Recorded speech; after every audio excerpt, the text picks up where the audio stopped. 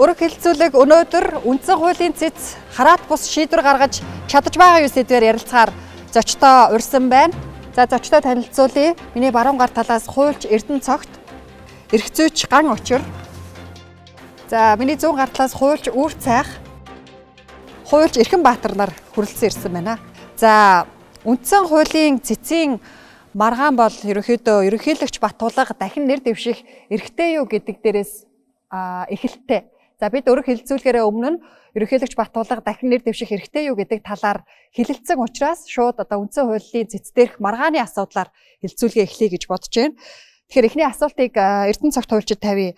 А одоо 4-р сарын 16-нд үндсэн хуулийн цэц дээрх дунд суудлын хуралдаан болох гэж байна. Тэгэхээр өмнөх багц суудлын хуралдаанаар ерөнхийлөгч Баттулга дахин нэр дэвших эрхтэй гэдэг шийдвэр гаргасан гэж ойлгосон. Тэгэхээр тэр шийдвэр хүчинтэй гэсэн үг үү, хүчингү гэсэн үг үү? Тэгэхээр энэ асуудал нөгөө иргэд үндсэн хуулийн цэцэд мэдээлэл гаргаад тэгээд энэ тугуу дууг асуудлыг цэцгийн гишүүн солонго маргаа үсэх тухай юм тогтоол гаргасан тий. Тэгээ энэ тогтоол дээр цэцгийн нэг гишүүн бол одоо бас энэ маргаа үсгэсэн асуудал нь буруу байна гэдэг агуулгаар бас санал гаргасан гэж ойлгосон. Тэгээ энэ саналыг бол нөгөө цэцэд маргаан шийдвэрлэх тухай хуулиараа цэцгийн баг суудлын хуралдаанаа 3 гишүүний бүрэлдэхүүнтэйгээр одоо энэ шийдвэрлэх юм хуультай. Тэгээ энэний дагуу бол 3 гишүүний бүрэлдэхүүнтэйгээр уг асуудлыг хилцэх хэлцэн шийдвэрлэх явцд бол одоо олон нийтэд ойлгосон мэдээгээр бол нэг гишүүн нь бол хурлаасаа бол санал өгөх шатн дээрээ бол одоо хурлаа орхиж гарсан. Тэгээд тэр хурлын үйл ажиллагаа бол тийм зөксөн байдалд орсон юм уу? Эсвэл одоо тэр хуралдаанд оролцсон гишүүн нь албаасаар бол тухайн үедээ бол одоо гишүүн хэр байсан тий? Завхтаа гишүүн бол албаасаар бол юугаар сошиалаар олон нийтийн юугаар бол хуралдаан болсон шийдвэрээ гаргасан олонхын саналаа гаргасан гэж ийм одоо мэдээлэл өгсөн шүү дээ. Тэгэхээр би бол хуралдаан бол явах хэвээр журмаараа явцсан юм гэж байна. Зөөлийн цэст маргаан шийдвэрлэх тухай хувьд бол цэцгийн хуралдаан бол тасралтгүй байх хэвээр гэж асуусан. Хуралдааны энд эхэлсэн бол өөр асуудал хэлцэж болохгүй, зогсож болохгүй. Тэгэхээр тэр шийдвэр гаргах бүрэн тийм нөхцөл болцоо бүрдсэн байсан гэтэл яагаад одоо нэг гишүүн тэндээсээ хурлыг орхиж гарсан бэ гэдэг асуудал нь өөрөө эргээд нөгөө цэцгийн хуралдаанд тасралтгүй явагдах зарчмыг бол ноцтой зөрчсөн ийм асуудал байгаа юм байна. Хоёр төрлийн байдал байгаа. Тэр маргааш нь байгаа цэцгийн тамгын газраас хуралдаа үргэлжилж гин гэсэн мэдээлэл гаргаж байгааг би маш буруу гэж ойлгож. Яагаад? Үргэлжилж байгаа гэдэг мэдээлэл гаргасан нь. Яагаад гэвэл одоо үндсэн хуулийн цэцэд маргаан хэн шийдвэрлэх тухай хуулийн 12 дугаар зүйлийн нэгд бол маргаан шийдвэрлэх ажиллагаа явуулж байгаа цэцгийн гишүүн бол альва байгууллага албан тушаалтан бус нэрнээс бол хараат тус байна гэж. Тэгэхээр энэ чинь бол цэцгийн нөгөө бүрэлдэхүүн хамлагдаад хуралж байгаа тохиолдолд бол хараат тус байх хэрэгтэй байхгүй. Тэрэнд одоо гэх нөгөө цэцгийн үйл ажиллагаанд үйлчлэх хэрэгтэй хамгийн газар мэдээлэл хийж гин гэдэг чинь энэ бол цэцгийн хараат тус байдлыг алдагдуулж цэцгийн нөгөө бүрэлдэхүүнийг одоо өөрөөр хэлбэл бүрэлдэхүүний өмнөөс шийдвэр гаргаж ийн гэдэг бол энэ бол байчлахгүй асуудал шүү дээ. Ийм ийм одоо хууль бус ийм юмнууд бол дараа дараа л явагдаад байгаа байхгүй. За дараагийн асуултыг ерөнхийдөө нэг асуултан дээр хоёр талын байр суурийг тэнцвэртэйгээр сонсоод явъя гэж бодож байна. Үүр цайх уулчаас тэгэхээр өмнөх одоо баг суудлын хуралдааны шийдвэр хүчинтэй юу хүчинтэй бус гэж үзэж байгаа юу та бүхэн.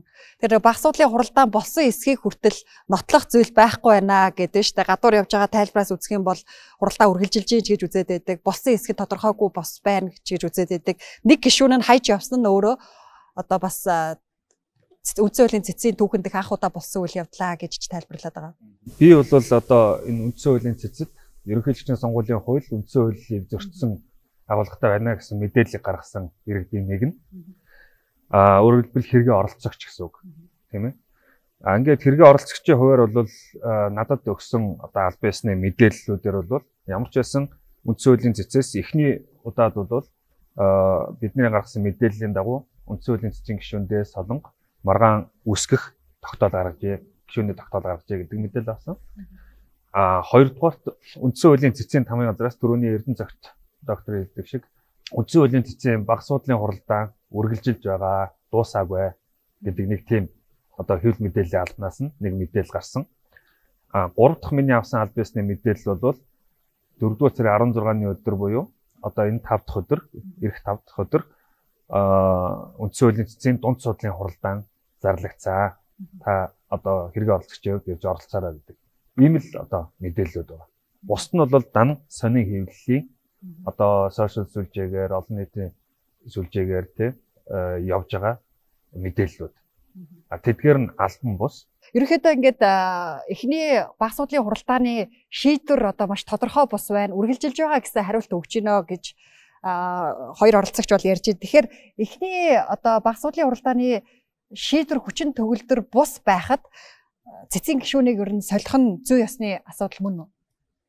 Цэцгийн а за үзэгчтэй бүгдээрэнд энэ өдрийн мэндийг хүргэе.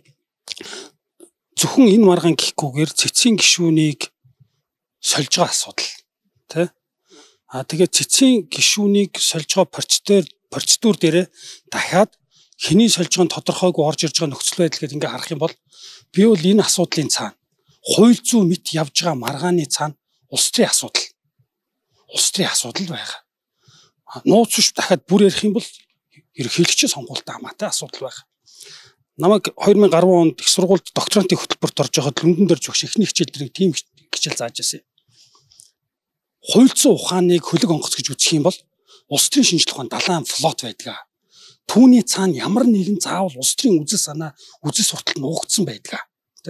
Хэрэг өдөр шөнийг хөөл гэж үзэх юм бол түүний цаана одоо түүний цаанаага үзэл санаа нь нар юм уу дэлхийд тэнхэлгээр эргэж байгаа процесс болох гэдэг шүү дээ. Тэгэхээр яг өнөөдрийн гаргаад байгаа цэцтэй холбогдлолтой маргаан эцэстээ явж хад улс төрийн цаана яг юу яг юу тэгээд байгаа юм? Хууль гэж яг юу юм? хууль гэдэг зүйл чи эцэстээ тэнцвэрлэх гэсэн үг үстэй.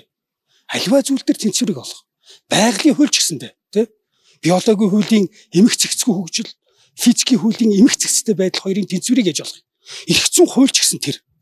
Чимэд өгч нэг удаа хэлсэн байдаг Монгол тулхтны зур хэмдэр сайн хууль бол байгалийн хуулийг дагаж гардаг. Тэгэхээр үүний цаана байгаа улс төрийн нөхцөл байдал нь яг өнөөдөр байгаа нэг цэцгийн гишүүн нэг асуудлыг гаргаж ир тавьдаг нөгөө цэцгийн маргаан үүсгдэг. Гурав дахь нь орж ид байхгүй болдог. Байхгүй болохоор дахиад үгүйсгддэг. Үгүйсгчээд дахиад дунд судал зарладаг 5 дахь өдрийн хуралдаан гараад идэг.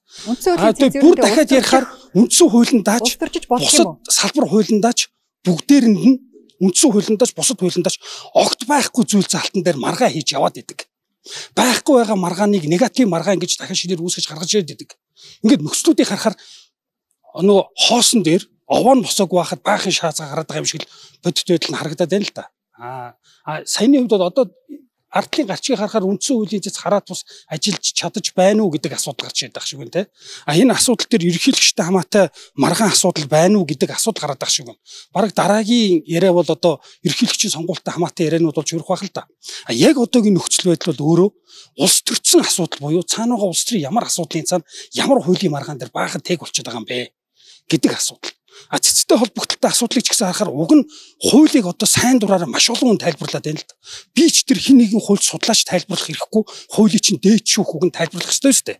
А дээд шүүхийн хууль тайлбарлах эрхийг цэцээр аваа эцэн гэхээр одоо тэгээд нөхцөл байдал нь яг ямар жонхоор явж орж ирж байгааг бодит харуулж шít уучлаарай. Цаг дуусчлаа. Цаг дуусчлаа. За Эрхэнбаатар хуульчаас асуухад ерөнхийдөө процесс бол одоо эндээс мэдээлэл гаргасан солонго үндсөлийн цэцгийн гишүүн солонго маргаа үүсэх хэрэгтэй гэж шийдвэрлсэн.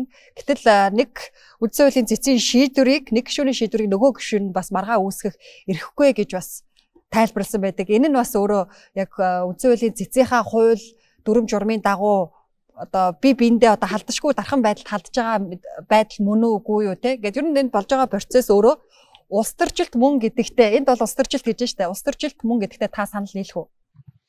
За би өөрөө улс төрч хүн биш болохоор одоо хуульч хүн болохоор улс төрийн асуудал дээр ямар нэгэн тим юм гэж мэдэхгүй байна.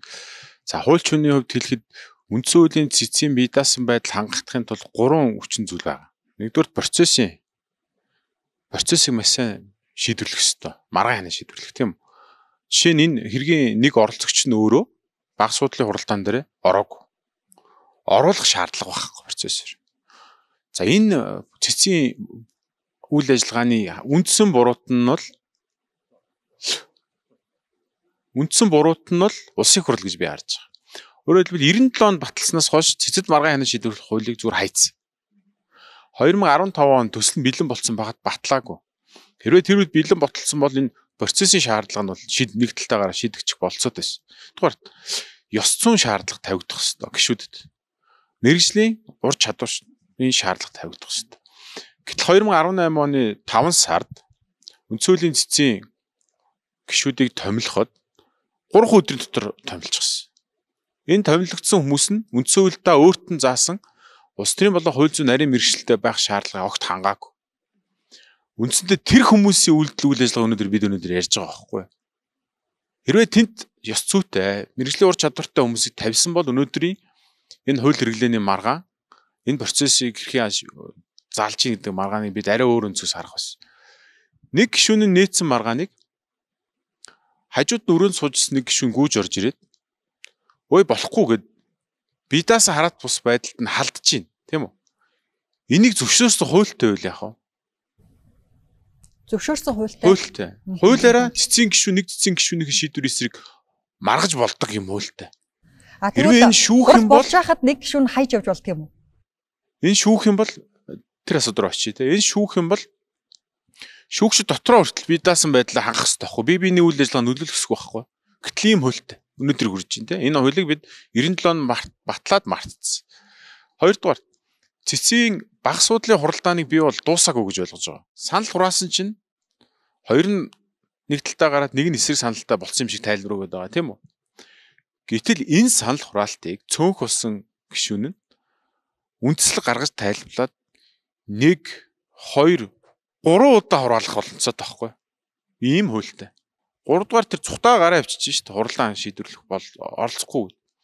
Энэ цухтаа гараа явсан хүн нь ёс зүйн хувьд өөрөө энэ албан тушаалтан дээр байх ирэхгүй юм болохыг олон нийт бид харсан мэдсэн юм баггүй. Тэгэхээр бид энэ гişүүдийн ёс зүйн болоод мэрэгжлийн шаардлагыг тийм ээ. бол өнөөдөр цэцэс ямар ч эерэг шийдвэр гаргаж чадахгүй өнөөдөр бид ингээд маргасаар л ах болно гэж хэлэх гэдэг.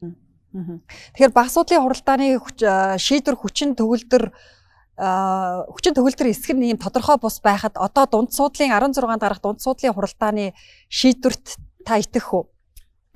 Бид нар бол баг суудлын хуралдаан болсон эсхийг мэдэхгүй байна. Аа шийдвэр гарсан эсхийг мэдэхгүй байна. Ямар ч албан ёсны мэдээлэл байхгүй. А тэгээд зөвхөн одоо хэвлэл мэдээлэл олон нийтийн дунд яригдж байгаа тийм одоо мэдээлэлтэй л байна. А тэр цогтоо гишүүн бас хэвлэлд ярилцлага өгсөн гэж яригдж байгаа. Гэхдээ цогтоо гишүүн юу ярьсныг бол би сайн мэдэхгүй байна. Үний ярьсныг ч мэдэхгүй байна. А тэгэхээр бол ийм мэдээлэл ийм тодорхойгүй байгаа нөхцөлд бол бид нар одоо тодорхой байдлаар энэ хүчин төгөлдөр үү хүчин төгөлдөр биш үү гэдэг асуудлыг ярих боломжгүй. Тэгээ хүчин төгөлдөр мэдээллийг яаж итгэх вэ? Яаж харах вэ? Хамгийн гол нь миний одоо шүүмжлэх байгаа юм бол үндсэн хуулийн цэцгийн үйл ажиллагаа ил тод биш байна. Тэ? Төрийн үйл ажиллагаа ил тод байх нь үндсэн хуулиас суур зарчмаа. Одоо жишээ нь энэ гурван гишүүн баг судлын хуралдаанаар хилцэж байна гэдэг чинь тэ. Тэгтэл энэ гурван гишүүн дотор чинь бас эргэлзээтэй хүн байна гэд татгалзан гарах хэрэг байхгүй. Аа тэмдэглэл одоо өчигдөр тэр нэг хуульч бас хэлээд байлээ л дээ тэмдэглэл гэд гаргаад тэгээ тэмдэглэлийг нь одоо авъя гэхээр бас гаргаж өгөхгүй. Би бол бүр одоо ямар одоо гурван гишүүн дээр хуваарлагдсан юм бэ гэд цэцгийн тамгын газраас бол одоо мэдээллийг нэгсэн. А тэгтэл нууцлдаг юм а гэж. Юу гэсэн үг юм? Хэргийн оролцогчд тэр одоо хэрэг маргааны шийдвэрлэж байгаа бүрэлдэхүүн шүүгч нууц э, мэдэгдэхгүй байна гэдэг чинь одоо шудраг процессын эрхүүдийг хангаж байгаа мó гүм үгэ тий. Ингиж бол ёстой болохгүй. Тийм Ингиж тий. Одоогийн шийдвэр биш тэрэн дээр биш хамгийн гол нь өчигдөр одоо тэр ерөнхий яасан төлөөлөгч чиглэлээ нэг мундаг хуульч доктор яриад илээ. Тэр хуульч үндсэн хуулийн цэцгийг ер нь байхгүй болгоё. Улсын дээч үгэд хариалуулж. Эн чинь дэлхийн 2 дугаар дайны дараа гарсан хүн төрөлхтний төрч ясны маш том ололт байхгүй. Хууль тогтоогчийг үндсэн хуулийн хүрээнд шахаж өгдөг маш чухал институт бид нар золоор үндсэн үлдээ авсан. Ганцхан бие даасан байдлыг хангадаг зохицуултыг бид нар үндсэн үлдээ хийж чадаагүй. Томилгоо нь хараат бус хүнийг томилж болдог тийм томилгоо хийж чадаагүй. За тэгэхээр одоо бидний яриа ерөөхдөө нөө цэцээ шүүмжилсээр байгаа л таарах гэдэг юм л да. Тэгээ явж явж тэгээд 97 оны а процессын хуулинд одоогийн энэ цаг үеийн шаардлагыг хангахгүй байна гэдэг дээр очих гээд байна. Тэгэхээр яг одоогийнхоо энэ цэцдэр өрнж байгаа маргаана тайлбарлаад явчих. Тэгэхээр маргаанд одоо жишээ нь яг та ямар байр суурьтай байгаа? Тийм баг суудлын хуралдаан бол болсон юм байна гэж би ойлгож байгаа. Сүүлийнх нь. Эхнийх бол бас болцсон гэж түрүүн гаргалаа хэлсэн тий. Болоод хоёр гишүүн олонхын саналаар шийдсэн ухаан цэцгийн гишүүн мэдээлэл хийж идэл цэцгийн одоо ажлын албарт хамгийн газар тэрнээс өөр мэдээлэл хийж юм гэдэг бол энэ бол цэцгийн одоо баг суудлын хоролдооны бүрэн эрхт халдж байгаа ийм үйлдэл байхгүй. Ийм байж болохгүй. Тэгэхээр хамгийн газар цэцгийн хоролдооны талаар ингэж мэдээлэл өгөх тэр цэцгийн гишүүдээс зөрүүтэй тайлбар өгөх байхгүй шүү дээ. Тийм үндсэн хуулиар олгогдсон байхгүй. Энэ бол зүйлийн цэцгийн баг суудлын хоролдооны бүрэн эрхийн төр ноцтой халдсан юм халдлага болсон. Энээс эхэлж одоо энэ цэцгийн үйл ажиллагаа бол доголдоод тэгээ одоо энэ цэцгийн үйл ажиллагаанд цэцгийн тамгын газар нөрөө нөлөөлдөг юм байна гэдэг ийм ойлголт төрөхөөр одоо хуульч хүний хувьд надад тийм сэтгэл төрсөн. За тэрнээс хойш одоо үйл ажиллагаа бол цэцгийн шин гишүүнд хамлагдсны дараа бол одоо яасны тухай бид түр ярьсан тийм. А би бол одоо таамаглаж хэлж байгаагаар бол цэцгийн шин гишүүнд хамлагдаад энэ 16-нд одоо энэ дунд суудлын хуралдаан зарлж байгаа гэдэг үү. Баг суудлын хуралдаан нэг бол болсон юм байна. А эсвэл одоо ямар нэгэн байдлаар баг суудлаараа нөгөө саяны ярьсан асуудлыг бол одоо шийдэх гаргалгаа юм уу нэг тийм юм бол гаргасан байж магадгүй юм байна. Гэхдээ ямар байдлаар яаж гаргасныг нь бол бид мэдэхгүй шүү дээ.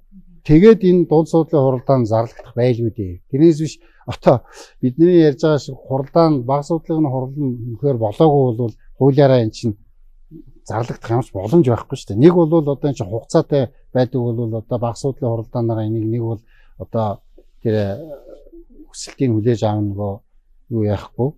Эцсийн гишүүнийг хэрэг маргаан ус гэсэн тогтоолын өчнгөө болгох тухай саналыг нэг бол одоо хүлээж авсан, нэг бол хүлээж аваагүй ямар нэгэн байдлаар шийдэх хэрэгтэй шүү дээ, тийм ээ. Тэгэхээр дунд суудлын хуралдаан зарлж байгаа гэдэг бол ямар нэгэн байдлаар шийдвэр бол гарсан юм. Гэхдээ ямар агуулгаар яаж гарсан нь бол бид мэдэх юм алга Тэгэхээр энэ ийм нууцлагдмал ил тод биш байгаа явдал өөрөө энэ хууль зөрчид байгаа байхгүй юу. Тэгэхээр энэ бол цэцгийг шүүмжилж байгаа биш. Энэ бол угаасаа цэц хууль зөрчиж байгаа тухайн л маш тодорхой ярьж байна гэсэн үг шүү. За одоо Эрхэн Баатар оролцогчоос нэг асуулт асуучаад дараагийн одоо яг цэц дээрх маргаан буюу үндсэн маргаан буюу ерөнхийлөгч нэр дэвших хэрэгтэй юу үгүй юу гэдэг агуулга руу оръё. Тэгэхээр одоо ингээд хуульчид дуу нэгтэйгэр цэцгийг шүүмжлээд байна шүү. Тэгэхээр цэцгийн энэ процессын алдаа хууль бус ингээ хууль зөрчөөд байна гэдгийг тэгээд хэн хянаад хин тэн дээр одоо юм шаардлага тавих хэрэгтэй юм бэ. Тэгээ одоо ингээ гаргасан шийдвэрийг хүлээн зөвшөөрөөд явах хэрэгтэй юм уу? Одоо дунд суудлын уралдааны шийдвэрийг бид нар хүлээн зөвшөөрөхөд бас их хэцүү болох гэдэг шүү дээ. Яг энэ процессыг харах юм бол би цэцэг шүмжлэх биш. Цэцэд маргаан ханы шийдвэрлэх хууль нь өөрөө хідэлтэй цаг үеийн шаардлага хангах үг шилж байгаа. Нэгдүгürt. Хоёрдугаарт цэцгийн гişүүдийн томилгоо дандаа хууль бус болсоор ирсэн учраас ийм үр дагаварт бид хүрчлээ гэж хэлж байгаа. Тэгэхээр баг суудлын хуралдаан явж явах явцад тийм үү. Нэг нь гар авчиж штэ. Ямар хариуцлах хүлээхийн тийм ямар нэгэн хариуцлах хүлээх заалт байхгүй. За нэг гişүнийг нь бүр их нь дуусгар болгочихсон тийм үү. Энэ дуусгар болгоход а хүнтгүүс шалтгаанаар бүрлэхэнд ороод үргэлжлүүлэх болцоог бол шинэ гişүн томилол шинэ эргэлэл явчихна. Энэ дээр одоо мухардалд орохгүй. Тэгэхээр одоо баг суудлын хуралдаан мухардал ерөөс орохгүй. Шинэ гişүн томилоод тэр гурван гişүн нь шийдвэр гаргаа явчихдаг. А гэхдээ ерөнхийлөгчийн хориг гол томилгоо хийхдээ одоо ерөнхий дээд шүүхээс энэ хоёр гишүүний аль нэгийнх нь нэрийг заасангүй гэж хориг тавиад байсан шүү дээ. Тий. Тэгэхээр хоригийг бол гэхдээ хүлээж аваагүй л дээ. Нэрийг заачлаа гэж. Ямар үндслээр тэрийг сонгож байгаа юм гэдэг дээр хориг тавьсан шүү дээ. Тэгэхээр дунд суудлын хуралдаан зарлцсан гэхээр одоо эрдэнэ цогт төгшөө хэлж байгаа зарлцсан үнэн бол а баг суудлын хуралдаан болцсон байх хэвээр. Тэгэхээр цогтоо гишүүнийг чөлөөлсөн бол оронд нэг хүн орол хурал болцсон байх хэвээр. А гэтэл энэ хэргийн оролцогч нь хүртэл хурлын протоколд танилцж чадахгүй тийм л хууль эрхцэн орчинд байна л та. А ерөнхийлөгч хоргийн тухайд бол томилсныг томилсон заалтан дээр нь хориг тавилгүйгээр чөлөөсөн дээр нь тавьчихаа. Инхээр энэ хоригийг хүлээгээд авчвал цэцгийн гишүүний тоо 10 болчих юм. Өөрөлд үндсөөлөр 9 байгаа юм. Тэгэхээр энэ хориг өөрөө их жоохон учир дутагдaltaй тавигдчихсан. Тэгэхээр бид э, яагаад энэ цогтоо гэдэг гişүүдийг сонгох уу? Ямар шалгуураар сонгох вэ гэхээр нөгөө хуулийн дээр бас хариулт нь байхгүй. Тэгэхээр улсын хурлын зарим нэг гişүүдийн тайлбарж байгаагаар бол өндөр насны тэтгэврт гарах одоо төрийн албаны хаших насны дээд хязгаар төрсэн байна гэж тайлбарласан. Өөр шалгуур байхгүй. Солонгоо гişүүн, цогтоо гişүүн хоёр нь нэг өдөр томилогдсон гişүүд. Тэгэхээр аль нэгэн төрөлд хугацаанд дууссан асуудал байдаггүй тий. За ямар ч үсэн энэ цогтоо гişүүн томилогдоход тэр дунд суудлын хуралдаан бол баг суудлын хуралдаан бол үргэлжлэх бололцоотой а үргэлжлээд хийгдсэн байж ич дунд судлалын уралдаан зарлагдах ёстой. А таны хэлсэн зүйл дээр ерөнхийлөгчийн хориг дээр бас энэ талаас байр суурийг сонсоод байгаа. Ерөнхийлөгчийн хориг бас ингээд ийм тодорхой бус зүйл дээр тавьсан гэж штэ. Томилгоон дээр ялангуяа одоо энэ солонгоо цогтоо гэж хоёр гишүүн хоёулаа нэг өдөр томилогдоод хугацаанд дууссан байхад дээд шүүхээс хэнийг нь одоо яг чөлөөлж хэнийг нь хэнийх нь оронд дараагийн хүнийг томилж байгаа юм бэ гэдг нь тодорхой бус байсаа гэдэг дээр хориг тавьсан гэж ойлгосон. Тэгэхээр тэр хориг дээр танай байр суурь. А хориг тавьсан би яг өчтөр эрхмээр хүлж нөгөө хориг тодорхой бус гэж сая энэ талаас хэлсэн. Тэрийг одоо харин няцаахуул гэж. Яг 25 дугаар суугдал виз дээр гарсан тэр нөгөө ярилцлага ам нээвэл гэдэг дээр тодорхойгүй нөхцөл байдал үүслээ хоёр хуульч гарчлаа. Тэгээ тэрэн дээр бол би их илүү тайлбар өгч гисэн байх гэж бодож байна тий. А зүгээр хоригийн хувьд бол хориг тавилаа.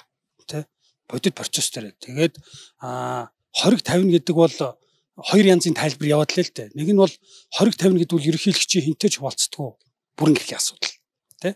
Өөрт байдаг. А мөн дээрэс нэмээд дахиад их хурлын миний сонсноор их хурлын бүрэн эрхийн тухай асуудал бас яриадсэн тий. Өөрийнх нь хуваалцдаггүй бүрэн эрх гэж байна. Энтэй холбогдлолтой зөрчлийн асуудал гарч ирлээ. Тэгээ энэ бол хориг тавилаа тавиагүй байлээ гэд нэг тал руугаа шийдэх ч гэсэн тийм сүртэй асуудал одоо бол биш болсон байх гэж бодож байна.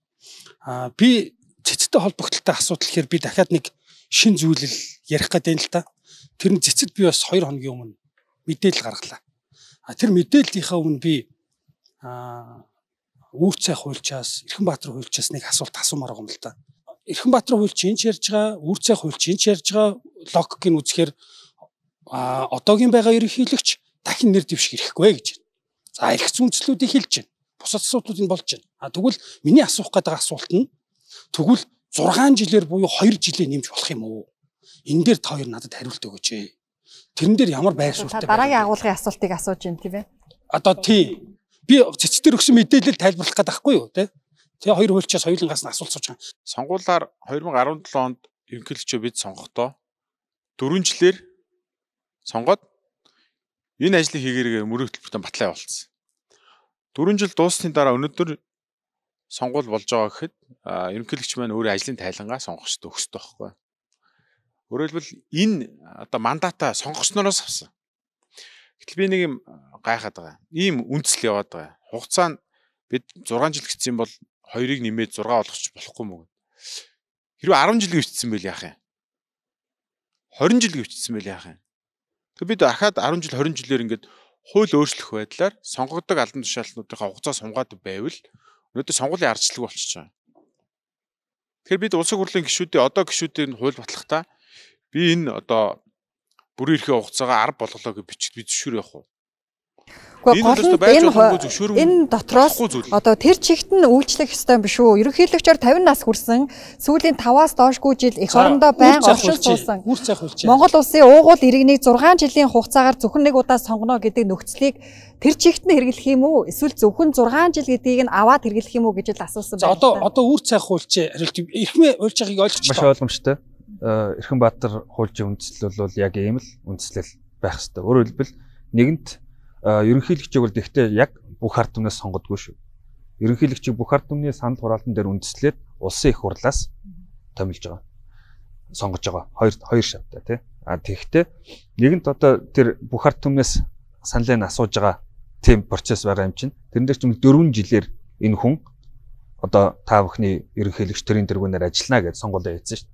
А тэгтэл тэрийг нь шууд хууль тогтоогч хууль гаргаад тий нөгөө ард түмний бүр ирэх мэр хамаагүй хууль тогтоогч хууль гаргаад өөрчлөлт байдаг байвал эн чинь арчил биш энэ байж болохгүй. Тийм ингэж за баярлалаа. Энийг одоо ингэ бидэрт гараад байгаа бидэрт гараад байгаа юу вэ? Бидэрт гараад байгаа хамгийн том алдаа гэхээр бид нар бүгд өөрсдөө хууль тайлбарлагч болчиход байгаа юм. 2015 оны үндсэн хуулийн цэцэн дээр 7 дугаар тогтоол дээчүү хууль тайлбарлах боломжгүй болчоор үүр цай хуульч одоо жишээ нь нэг удаа гэдгийн нэг хууль гэдгийн цаана харин цэц чин байхгүй болчоор бүгд хууль тайлбарлагч болчиход шүү дээ. Биш ээ. Цэц байхгүй болчиход байгаа биш. Бид нар дээд шүүгч хууль тайлбарлах боломжтой ухааны тайлбар хийх. Эсвэл өөрийнхөө зүгээс хуулийг тайлбарлаж ярих үзэл бодлоо ирэх нь байна. Би ёсны тайлбар гэж байна. А хувийн тайлбар гэж байна. Тэр шинж ухааны үндэсний тайлбар байх ирэх эдлээд одоо албан ёсны тайлбар хийж байна. Би таны яриг сайн таслаагүй шүү дээ. А ерөн зүгээр миний гаргаад байгаа алдаа нь тэрэн дээр цэцтэр угаасаа нэг алдаа байгаа. Нэгдүгээр. Хоёрдугаар миний за миний гарсан мэдээлэл бол ямар мэдээлэл вэхээр би 6 жил гэдэг дээр мэдээлэл гаргасан юм. Тэр нь вэхээр одоо ингэж байна л да. За үндсэн хуулийн бичвэр бол дээд ирэн бие бичвэр. Тэрэнд байгаа цэг таслал бусад бүх зүйл үгийн өмнө хойно утга агуулах уу агуулна. ганцхан бичвэр бол дээд ирэмбийн бичвэр тэр нь бол үндсэн хуулийн цэцгийн бичвэр. Тэр бичвэр дээр яг бодитоороо яриад байгаа зүйл нь цэг дасл цэг дасл гэдэг зүйл байхгүйгээр 50 нас хүрсэн Монгол улсын ерөнхийлөгч гэж байна те. А 50 нас хүрсэн Монгол улсын уугуул иргэн 6 жилийн хугацаатай нэг удаа гэдэг. Гэтэл одоо байгаа ерөнхийлөгчдөр штэ. Нэг удаа гэдг нь үйлчлээд байдаг. 6 жил гэдг нь үйлчилдэг. Ерөнхийдөө за дараагийн агуулга буюу Баттулга ерөнхийлөгч дахин нэр дэвших эрхтэй юу гэдэг асуултыг одоо хуулийн тайлбарыг өөр өөртөөхөөрөө тайлбарлаж штэ. Та яг энэ байр суурин дээр эрхтэй гэж үзэж байгаа бол яг ямар тайлбараар тайлбарлаж байгаа юм бэ? Хуулаа яг ямар онолоор тайлбарлаж байгаа гэдэг хэлэхгүй юу? Би бол одоо хуулийг хуулиар л тайлбарлана. Тэрнээс биш одоо би ингэж үзэж байна, би ингэж бодож байна. Миний бодлоор бол энэ гэж ярих цаг биш тийм одоо юу ч тийм хуульч гэж байх ёсгүй гэж би үзэж байгаа байхгүй. Тэгээ хуулийн тайлбар нь ийм олон байгаа. Хуулийн тайлбарыг би маш тодорхой хэлье. Тэгэхээр ийм байгаа байхгүй да. Энэ үндсүүлийн 30 дугаар зүйлийн одоо энэ хоёр дахь хэсэгт байгаа энэ ойлголтын талаар бол яг гоо ингээд 1000-аас хойш жил гаруй хугацаанд одоо маргаж байгаа тийм ингээд явж байгаа. Тэгэхээр энд хамгийн гол энэ маргаан дээр бол улсын хурлын өөрөө цэг тавьсан байхгүй. Цэг хатгацсан. За яаж хатгсан гэхээр эхлээд Монгол улсын ерөнхийлөгчийн сонгуулийн тухай хууль гэж 12 сарын 24-нд 2020 онд батсан. За тэгээ энэ хууль 1 сарын чимэндээ министрлэг хэрэгжиж эхэлсэн. За нэгдүгээр яг ингээ хуулийн дээр бол ерөнхийлөгчд ямар шаардлага тавих уу одоо энэ сонгуул тий энэтэй холбоотой асуудлаар гэдэг шаардлагууд нь байгаа. Тэгэхээр ингээд хууль тогтоогч өөрөө нүцүүлээ хууль гаргах замаар одоо өөрөөр хэлбэл агуулгын тодорхойлж штэ. Нүцүүлийн нэмэлт өөрчлөлтийн агуулгыг. Тэгэхээр одоо нэг хууль тогтоог шийдсэн юм дээр хуульчнаар бол уул нэг марах эсвэл байдаг юм л да. За хоёрдугаарт энэ асуудалд би цэг гатгсан гэдэг нь ямар утгаар хэлж байгаа вэ гэхээр яг мэдээ тэрнээс хойш бол маргаж болно. Хуулийн дээр одоо 6 жилээр нэг удаа ийм сугалж аваад ингээд ярих ч байдаг юм. Янз бүрийн аргаар одоо ингээд ядаж болно. Гэтэ хамгийн гол нь энэ асуудлыг их хурл өөрөө шийдсэн гэдгийг л би хэлэх гэж байна. Яа шийдсэн гэхээр ерөнхийлөгчийн тухай хууль гарсан ч гэсэн хүмүүс маргаад штэ. Гэтэл энд одоо марахын аргагүйгээр цэг гатгсан тухай нь ярьж. Маргаанг болцсон байхгүй юу наас. Ямар цэг? За яаж цэг гатгсан гэхээр энэ ерөнхийлөгчийн сонгуулийн бол баталсны дараа улсын хурлаас энэ ерөнхийлөгчийн сонгуул тоглон зарлах тухай 2021 он 1 сарын 20-ны үед энэ 7 тав тогтоолох баталсан. За энэ тогтоолоор бол юу заасан гэхээр ээлж сонгуулийг бол 2021 оны санал хураах авах өдрийг бол 2021 оны 6 сарын 9-ний өдрөөр тогтоосон баг. Ингээд зарчиж байгаа. Хурал. Маш зөв товл гаргаж байгаа Гэхдээ энэний цаана маш том утгаа бол байдгийг. Юу байгаа вэхээр одоо нэг 6 жилийн хугацаа гэж яриад штэ. 6 жилийн хугацаагаар үндсэн хууль нэмэлт өөрчлөж ороод 2020 оны 5 сарын 25-наас өөрчлөлтөө батлагдаа хүчин төгөлдөр болцсон. Тэгэхээр яг үнэхээр одоо 21 он сонгуул явах уу явахгүй гэдгээс нөгөө хуулийн чинь 6 жил мөрдөгдгөө уу гэдгээс шийдэгдэх гэсэн баггүй юу. Тэн дээр бол маргаж болно шүү дээ болж нь. Тэгх хэвээр ингэх хэвээр. Гэтэл их хурл бол энэ дээр бол 6 жил гэдгийг дааж мөрдөхгүй. Тэр бол дараагийн одоо ерөнхийлөгчийг сонгосны дараанаас мөрдөгднө гэдгийг энэ тогтоолоороо одоо гаргаад шийдээд тэгээд 4 жилийн хугацаанд дуусангууд сонгуул товлон зав. Сонгуул товлон зарлах тухай улсын хурлын тогтоол гараагүй бол харин одоо маргаан үргэлжлээд байх болцоотой байсан. Аха. За дараагийн асуултыг Эрхэн Баатар оролцогч тэгэхээр ерөнхийдөө өсрэг байр суурьтай байгаа тийм ээ. Дэвших эрэхгүй гэд. Аа тэгэхээр яг энийг бас яг өөрөө яг ямар тайлбараар хийж байгаагаа тайлбарлахгүй юу? За эсрэгч яг хоо ер нь хуулийг талбарлаад байгаа юм бас. За Монгол Улсын үндсэн хуулийн 30 дугаар зүйлийн хоёрт ийм заалт байсан юм. Уншаад өгч. Ерөнхийлөгчөөр 45 нас хүрсэн таслал сүүлийн 5-аас доошгүй жил их орондоо байн горшин суусан таслал Монгол Улсын иргэнийг 4 жилийн хугацаагаар сонгоно гэсэн заалт байсан. Энэ заалтыг анзаарвал нэг удаа сонгоно, хоёр удаа улирж болно гэсэн агуулга байхгүй байгааз. Тэгвэл өмнөх ерөнхийлөгч нар яаж ямар үндслээр хоёр удаа улируулж нэр дэвшээд байдаг байсан юм бэ гэхээр 31-ийн 7 гэдэг заалт байсан. 31-ийн 7-д ерөнхийлөгчийг зөвхөн нэг удаа улируулж сонгож болно гэсэн заалт байсан. Шинэ үндсэн хуулиар энэ заалт яаж өөрчлөгдсөн бэ гэхээр 32 нь ерөнхийлөгчийг 50 нас хүрсэн сүүлийн 5-аас доош жил их орондоо байн горшин суусан Монгол улсын уугуул иргэнийг 6 жилийн хугацаагаар зөвхөн нэг удаа сонгоно гэсэн бичигдэл орсон юм. Энэ 32-ыг одоо улс төрч төр хуульч нар тэр янз бүрээр тайлбарлаад одоо үл үзэж байгаа шиг байна. Янз бүрийн байдлаар тайлбарлаа тийм үү. Энэ заалтаар нэр дэвших дэвшихгүй асуудал нь шийдэгдэг юм аа. Шийдэгдэхгүй. Шийдээчгүй. Өөрөөр хэлбэл энэ ямар хүн нэр дэвшихийг л заасан байгаа байхгүй юу?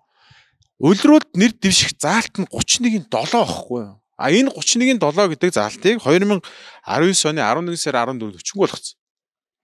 Өөрөөр хэлбэл улируулан сонгож болно гэсэн залтыг хүчингү болгосноор болохгүй болсон байхгүй юу? Өнөөдөр одоо нэр дутагдаад байгаа ерөнхийлөгчийн тухайд ерөнхийлөгчийн чивгүүрийг одоо хэрэгжүүлж байгаа юу? Хэрэгжүүлж байгаа. Ахаад нэр дэвшгээр юу гэсэн үг вэ? Улирж байгаа гэсэн. Гэтэл улирж болохгүй гэдэг хуультай байхгүй юу? 31-ийн 7-ыг бид барьж тайлбарлах хэрэгтэй. Дахир нэр дэвш эрэхтэй ирэхгүй асуудал байна. Тэрнээс 30-ийн 2-ыг барьж агаад зөвхөнийг удаа 6 жил энэ нэрүүдийг хамаатай ингээд тайлбарж болохгүй. Улирж болохгүй гэдэг хуультай байхгүй юу? Тэгэхээр одоогийн ерөнхийлөгч маань улирчвал 10 жил суух гээд. 10 жилээр ерөнхийлөгч хийх хууль одоо зөвшөөрсөн хууль Монгол байхгүй. Төрийн албанд өндөр дэд албан тушаалтнуудыг тэ холбоотой чиг үүрэг эрх мэдлийг үндсэн хуульд бичихтэй болох нөхцөлийг тавиад үүнээс бусд нь болохгүй гэдэг агуулгаар бичигддэг. А иргэний хувьд бол болохгүйг нь бишээд бусд нь зөвшөөрөгддөг. А гэтэл 11 сарын 14-нээс өмнө улирч нэр дэвшиж болдог байсан заалттай тэмччээс улирдаг байж Одоо тэр залт нь өчөнгө болгоцсон буюу болохгүй болчхоор улирах тухай асуудлыг бид ярих шаардлагагүй байхгүй. Тиймээс үндсэн хуулийн цэц дээр яваад байгаа энэ маргаан бол онцгийн үр дагаваргүй ач холбогдолгүй маргаан. Тийм учраас одоо улсын хурал ерөнхийлөгчдийн сонгуулийн тухай хуулиа бичгтээ энэ нь болно, энэ нь болохгүй гэж бичих шаардлага байх. Үндсэн хуульд нь өөрт нь улирч нэр дэвших залтыг хүчингү болгоцсон буюу болохгүй болчихсон. Энэ ажлыг хамгийн гол нь өнөөдрийн ерөнхийлөгч маань ажлын хэсгийн ахлагч болоод энэ үндэсний эв нэгдлийг хангаад манлайлж батлуулсан залтахгүй юу? Тэгэхээр ийм л үр дагавар төрсэн заалтай. Тэгэхээр одоо хэлж байна шүү дээ тийм ээ. Үндсэн хуулийн нэмэлт өөрчлөлтийг хэрэгжих хугацааг 25 онд ерөнхийлөгчийн сонгуулиас эхэлэх үү 21 онд эхэлэх үү гэдгийг тухайн үеийн танай нам те ардчсан намын гишүүн за ерөнхийлөгчийн тамгын газрын дараа гасан энх бол зээ энх бол за энийг одоо 20 оноос хэрэгжиж эхэлье гэдгийг өөртөө шийдвэрлсэн. Тэр өөртөө та бүхэн маргааныг үүсгэсэн биш үү гэдэг нэг асуулт гарч ирж байна л да. Тийм дүнтэй одоо худлаа мэдээ яваад байна гэдгийг өчигдөр гүн бэлэг доктор бас тайлбарлаж илээ. Одоо нөгөө протоколыг уншиж илээ шүү дээ тий. Тийм шүү гэд. А яг саяны эрхмээ хуульчийн хилдэг бас үнэн. Тэр олируулан нэр дэвших тухай зүйл залт байхгүй. Байхгүй болсон.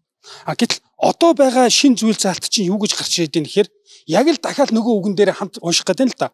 Монгол улсын уугуул иргэнийг 6 жилийн хугацаагаар зөвхөн нэг удаа эрх зүйн онолд эрх зүйн онолч хууль зүйн техникт гурван янзын зүйл байгаа тийм. Гипотез, диспотез, санкц. Диспотез нь харахаар чи юм байхгүй. Монгол улсын Монгол улсын уугуул иргэнийг 6 жилийн хугацаатай энэ үндслэл зааж байхгүй юу? Үндслэл зааж байна. За тэгээд нөхцөл зааж байгаа хэсэг нь зөвхөн нэг удаа. Энд чинь ингээд нийлмэл диспотез ингээд болоод түрээд ирэхээр юу болж хурж ихэр эн чинь дахиад шинээрээ өмнөх байсан ерөнхийлөгч чинь өмнө нь 6 жилээр нэг удаа сонгогдоогүй байгаа үстэй. 6 жилээр ирж байгаа хууль чинь шинжилэн хариулсан үндсэн хуулийн байгаа үстэй. Өмнөх 4 жилийн улирал гэдэг чинь 4 жил байсан ерөнхийлөгчийг дахиад 4 жилээр улируулахгүй. Зөв. Тэр чинь байхгүй болсон. А тэгэхээр 6 жилтэй холбогдлолтой зүйл заалт чинь хуулиараа шинээр нөхцөл үүсэж байна. Буюу деспотиз үүсэж байна. Шинээр нөхцөл үүсэж байна. Уугуул иргэнийг 6 жилийн хугацаатай шинээр нөхцөл үүсэж байна. 4 жилдээ байсан зүйл 4 жилээр үргэлжлэхгүй зөв. Тэр чинь байхгүй болсон. А 4 жилээр нь 6 жилийг очиж цохиж унах гээд байна. Тийм үү? А нэгдүгürt нь. А хоёрдугаарх нь дахиад миний хэлээд байгаа санаа бол энэ хүн дээр за цэцдэр ингээ баахан марган болж байна. Гэтэл яг бодит байдал дээр нэг хуулийн дээр байгаа нэг зүйл заалтын тасалгүй үгийн нэг үг нь очиж үйлчилдэг. Үйлчлэхээр бүр ингээ хайр найраг үйлчилдэг. Дахин нэр дэвших хэрэггүй. Нэгхэн удаа байх хэвээр дахин нэр дэвших хэрэггүй. Нэгхэн удаа байх хэвээр. А юу нь очиж үйлчилдэггүй вэ гэхээр яг нэг өгүүлбэр дээр байгаа нөгөө үг нь огт 6 жил гэдэг үг нь тэр хүнд огт хамааралгүй. А тэгээ сая хэлж штэ 10 жил байх юм уу? 20 жил байх юм уу? 30 жил байх юм уу? Гэхдээ эн чинь яг хуулийн дээр 6 жилгээ цогцсон байж штэ. 10 жил гээгүй. 20 жил гээгүй. 6 жил гэсэн байна. Тэгээ ингээ харахаар энэ зүйл заалт чинь өөрөө ингэж тайлбарлагдаад байгаа юм биш үү? Их зүйн хувьд дахиад дахин нэр дэвших нь хүртэл маргаангүй асуудлууд болж яваад байна. А улс төрийн маргаан нь бол эндээс зөндөө байна. За онлын хувийн маргаануудыг нэлээд гаргасан байлээ. Онлын маргаанууд дээр нэлээд олон нийтлүүд гарсан байлээ. Сургуулийн багшаар гаргасан байна. Би даасан хуульчид гаргасан байна гэд ингээ гарч байна. Тэгээ миний хэлээд байгаа зүйл бол энэ улсын хурлын саяны үзүүлдэг багш бол ингэж л улсын хурлын саяны үзүүлдэг энэ тогтоолоор бол эцэлсэн гэж байна. А би болохоор цэцэд гаргаж байгаа мэдээлэл дээр улсын хурлын 2021 оны 1 сарын 20-ны өдрийн доор 7 дугаар тогтоол нь өөрөө үндсэн хууль зөрчсөн байна. Зөрчсөн байгаа асуудал чинь наад хүн чинь хэрэгцээ энэ хууль чинь ингэж үйлчилж байгаа бол тэр чигтээ үйлчлээ 6 жил байх юм биш үү гэдгээр л цэцэд хандж байгаа тийм. За үүр цаах хуульчаас асууя. Ерөнхийдөө бас нэг юм тайлбар яваад байгаа ш. Хууль буцаж одоо эргэцүү хугацааны үед буцаж үйлчлэхэд эргэцүүн чадамжийг дордуулнаа гэж бас тайлбар яваад байгаа. За тэгэхээр энэ хин энэ юуг анх оруулж ирсэн бэ? 25 оноос хэрэгжих байсан залтыг 20 оноос хэрэгжээ гэдгийг хин оруулж ирсэн бэ гэдэг дээр бас нэг юм хэлэхгүй болохгүй юм л да. Учир нь өчигдөр одоо гүн бэлэг доктор тэр ярилцлаганд орохдоо ингэж хэлж байгаа. Энэ их бол даргын төрийн байгуулалтын байнгын орооны 2020 оны 9 сарын 7-ны өдрийн хуралдааны тэмдэглэлээс иш татахтаа их бол даргын хэлсэн үгнээс зөвхөн анх санаачлагта 2025 байсныг 2021 болгох гэж байгаа юм байна тийм ээ гэж асуусан хэсгийг уншичаад тэрнээс цаашхыг хэлэхгүй байна. Тэрнээс цааш нь болохоор юу гэж юм нэхэр энэ ингэх нь зүйтэй л дээ гэдэг өөрөөр хэлбэл дэмжиж байгаа байхгүй инх бол инх болд тий зандаа үгийн инх бол дараа. Ягаад тэгэхээр үндсэн хууль өөрчлөгдсөн байдаг дахиад хуучин үндсэн хуулийн дагуу сонгуул явуулаад байх нь 2021 он болгох нь зүйтэй. Гэхдээ техникийн юм хүндрэлүүд инэ тэрээгээд ер нь бол ийм болох нь зүйтэй гэдэг санал эндээс гарсан ойлгомжтой. А энээс өмнөх хуудаснууд дээр хэний а Ж Мөнхбат гişүн тэр байнгын орны хурал дээр асууж байгаа. Ерөнхийлөгчөөсөө саналыг асуусан юм уу гэхэд байнгын орны дарга Бямб цогт бол ерөнхийлөгчийн саналыг би асуусан. Байр суурь ямар байна энэ дээр шүүхийн ерөнхий зөвлөл сахилгын ороотой асуудал бол нэгэнтээ шүүх, шудраг шүүх хараа тус болох гэж байгаа бол энэ заалтаа аль болох хурдан өөрчлүүлж эхлэх нь зөвөө. Заавал 21 оны 7 сарын 1 гэх шаардлагагүй гэдгийг санал хэлсэн. Мөн шинэ үндсэн хуулийн нэмэлт өөрчлөлтийг бол дараагийн сонгуулиас эхлээд хэрэгжээд эхэлсэн байхаар байх нь зөв байхаа гэсэн саналууд хэлсэн байгаа. Гэхдээ ерөнхийлөгчийн тамгын газрыг дуудчихгүй байр суурийг нь сонсё гэд. Тэгээд ерөнхийлөгчийн тамгын газрын дарга э, тэр дарга зандаа үгийн инх болт байнгын орооны хуралдаан дээр орж ирээд саяын дэмжсэн саналыг хэлсэн байдаг. Өөрөөр хэлбэл үндсэн хуулийг хилцэх процесс бол тэр зөвшөлтслийн гэдэг ажлын хэсгийн хэсэгдэр санал нэгдээгүйгээр байнгын ороонд орж ирж санал хураагдах асуудал бол байхгүй. Тэгэхээр ерөнхийлөгч маань бол одоо юуныхаа хувьд үндэсний нэгдлийг илэрхийлэгчийн хувьд энэ үндсэн хуулийн хилцүүлэх процесст одоо манлайлж оролцож ясныхаа хувьд бол энэ асуудлуудыг бүгдийг мэдчихсэн байна. Улирч нэр дэвшгүй гэдгээ мэдчихсэн байна. Улирч сонгогдохгүй гэдгээ тийм. А мөн одоо зөвхөн нэг удаа сонгогдно гэдэг заалтаар өөрөө одоо нэр дэвшгүй гэдгээ мэдчихсэн болов гэсэн ийм одоо ойлголттой. Тэр миний одоо яг гол асуулт бол буцаж ингэж одоо энэ шинээр хэрэгжиж эхэлж байгаа хууль буцаж үйлчлэх нь эргэцүүн чадамжийг дордуулахгүй юу гэдэг. Тий. Буцаж үйлчлэх гэдэг асуудал дээр бол би өмнө нь бас нэлээд тайлбарлаж байсан. Энэ бол энэ тохиолдол дээр үйлчлэхгүй. Ягаад гэвэл энэ бодит бус эгэх үйлчлэл буюу хууль тогтоомж өөрчлөгдөхөөс өмнө тэр хүний ихтгэл байсан боловч хууль тогтоомж өөрчлөгдсөний дараа тэр хүн үйл ажил үйл амьдралаа тий тэрэнд одоо нийцүүлээд явах тэр хууль зүйн боломж нь цаг хугацааны боломж нь бас байгаа учраас энэ энэ тохиолдолд бол зарчмын хувьд зөвшөөрдөг, эгэх үйлчлэлийг зөвшөөрдөг тодорхой онцгой тохиолдлуудад үнд зүйлсүүдтэй харьцуулсан тохиолдолд хоригддог. Ийм одоо онлайн зохицуулт байгаа. Тэгэхээр бол нэг зөвхөн нэг удаа сонгогдно гэж байгаа юм бол 6 жилээр ахаад бараг 2 жилээр үргэлжлүүлээд ерөнхийлөгчийн алба ашиглах ёстой юм шүү. Би хариулах уу. Энэ хууль буцаж үйлчлэж байгаа явдал биш. Өнөөдөр үйлчлэж байгаа. Өнөөдөр үйлчлэхдээ нэр дэвшигчдэр маань ямар статустай вэ гэдгийг анхаарах ёстой. Өөрөөр хэлбэл ерөнхийлөгч үү ингийн иргэн үү улсын хурлын гишүүн үү ерөнхийлөгч хэрвээ дахин нэр дэвших тухай асуудал яригдвал улирах тухай хууль зүйр дагавар үснэ. Улирах заалт нь 31-7-д болно гэсэн байсныг хүчингү болгоцсон буюу болохгүй болсон учраас нэр дэвшихгүй гэдэг байхгүй. Тэрнээс энэ 32 гэдэг заалтаар бид нэр дэвших хэрэгтэй ирэхгүй ерөөсө хариу энэ 32 доо байхгүй байхгүй. Ер нь энэ үндсэн хуулийг бид ингээд нэг хүнийг л нэр дэвшүүлэхин тулд хийчихсэн юм шиг тайлбарч болохгүй. За тэгвэл хідүүлээ тоо бодъё л да хідэн хүнийг нэр дэвшүүлэхгүй үр дагаварт энэ үндсүүл нэмэлт өөрчлөлт үүсгэж вэ гэдэг. 45 байсан насыг 50 50 болгосон тийм үү? Ингээ Монгол улсын хэмжээнд 45-аас 50 насны 100 орчим мянган иргэн байсан байдаг. Энэ 100 мянган иргэн нэр дэвших болцоог болцсон байхгүй. Энд ганц ерөнхийлөгч биш, ерөнхийлөгч аль басжсэн 5 хүн биш. 100 мянган хүний эрхийг хуулиараа хязгаарсан бас дордуулсан эрхцэн байдал бас дордсон байгаа. Тэр бид ингээд зөвхөн тэр хүн зориулал хийсэн юм шиг байдлаар тайлбарлаад байж болохгүй. Одоо нөгөө тэр хүнд дахин дэвших магадaltaй учраас ингэж энэ хүн дээр маргаад байгаа шүү дээ.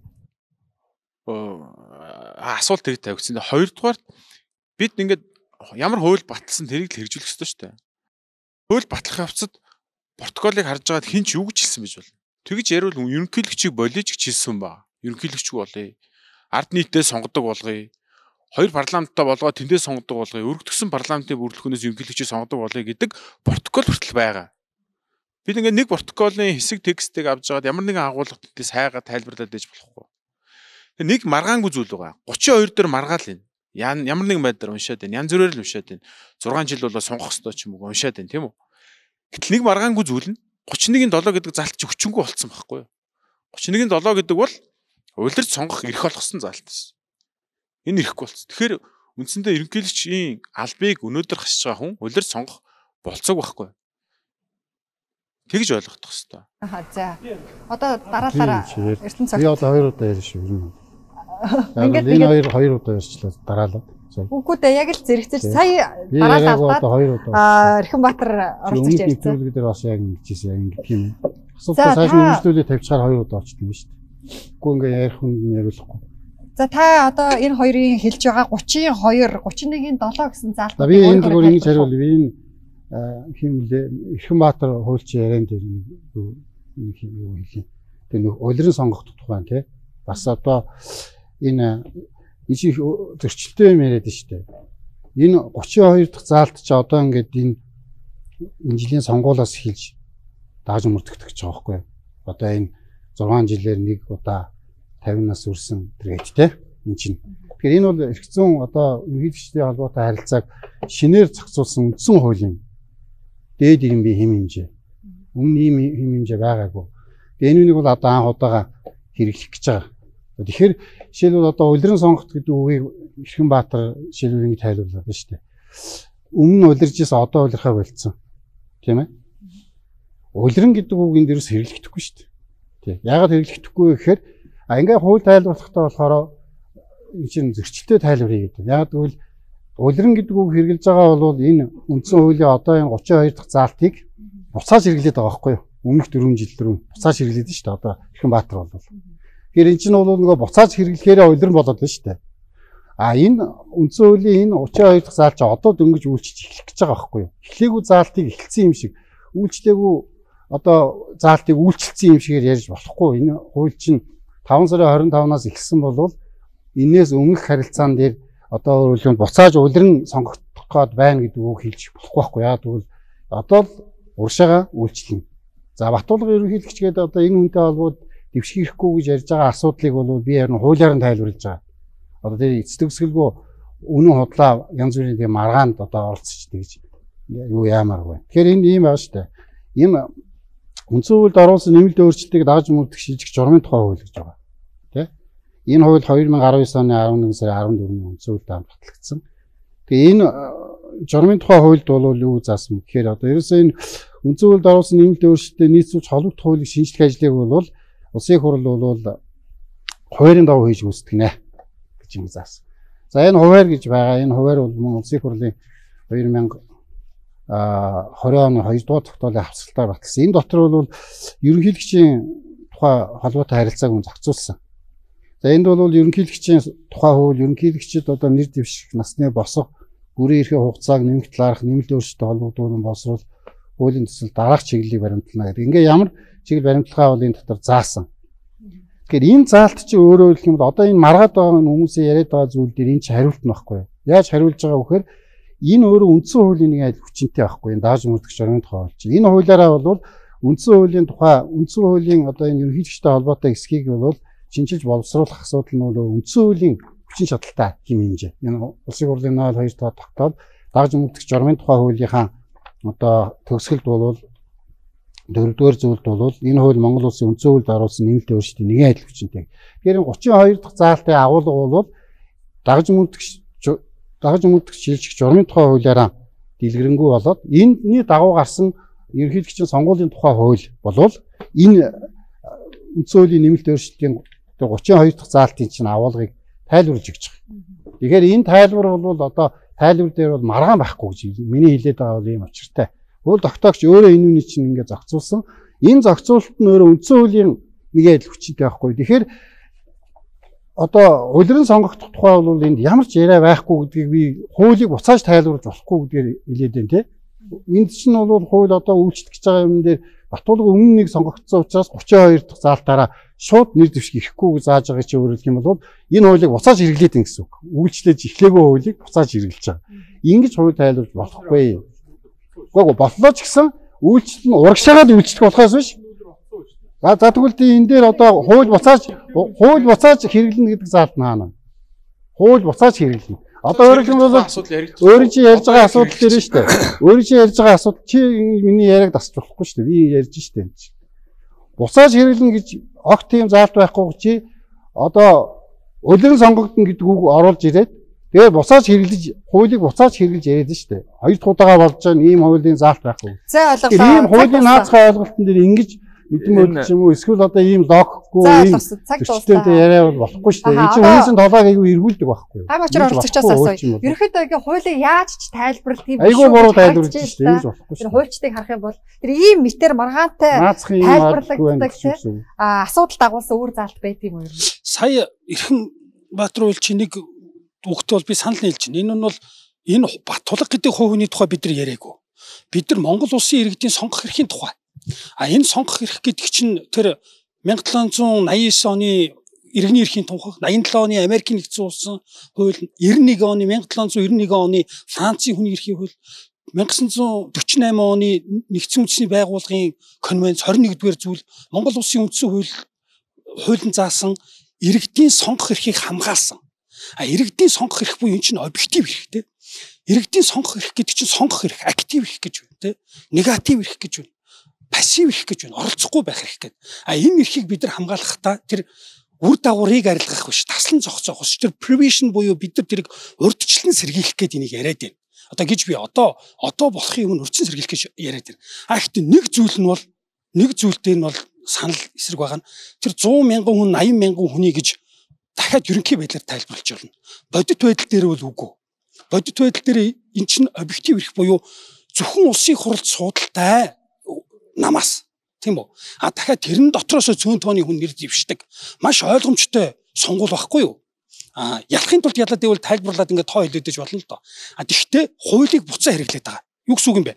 2019 оны хуулиар 2017 онд сонгогдсон хүнийг очиж мөргөж унгаад байна гэдэг чинь хуулийг буцаж хэрэглээд нь шүү дээ. Хуулийг буцаж хэрэглээд байгаа дэр надад бүр тэгвэл бүр их сони асуулт байна. Тэгвэл өмнөх улсын хурлын тухай хуулиар улсын хурлын бүтэн эрц бүрдлээ гэж бодъё. Тэгэхэд талаар нь бүрдээд а бүрдсэн хүнийхээ талаар нь буюу 50 дээр нэмэх нэг буюу 20 гишүүнээр бүх хуулийг баталчдаг байсан. Ихэнх хуулиуд өнөөдөр үйлчилж байгаа хүмүүс 20 21 22 3 гишүүн а яг одоо байгаа хуулиар бол 39 гишүүн буюу нийт олонхоор санал хураадаг. Тэгвэл 20 21 гишүүн байсан бүх хуулийг одоо хүчингү болгоё л да тий. Буцад татаал. Яг энэ шиг буцад татаал хүчингү болгоё. Дахиад нэг логикийн зөрчил бодит зөрчил харагдаад байна. За өмнөх хүндсэн хуулиар буюу 17 онд үйлчилж байсан хуулиар 45 настай хүн нэр дэвш болдгоо.